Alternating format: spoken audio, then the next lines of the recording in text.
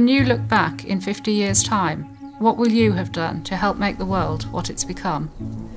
How can we work collaboratively to ensure we maintain healthy environments that best enable human health? My name is Jennifer Cole, and I'm the course leader for the new Global Health Master's degrees at Royal Holloway. These degrees address existing and emerging health challenges of the modern age with two distinct pathways. On our MSc Global Health, Human Health and the Environment degree, we take an interdisciplinary approach to the challenges of climate change, urbanisation, geopolitics, changing demographics, sustainability and biodiversity. We'll examine how global health depends on planetary health, mindful of its impact on future generations.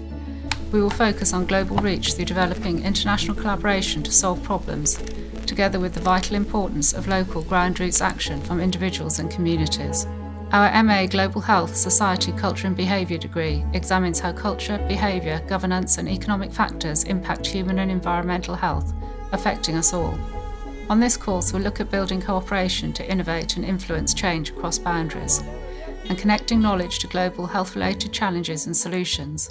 Learn how by listening to the lived experiences and everyday challenges faced by individuals and communities, we can empower them to improve their health.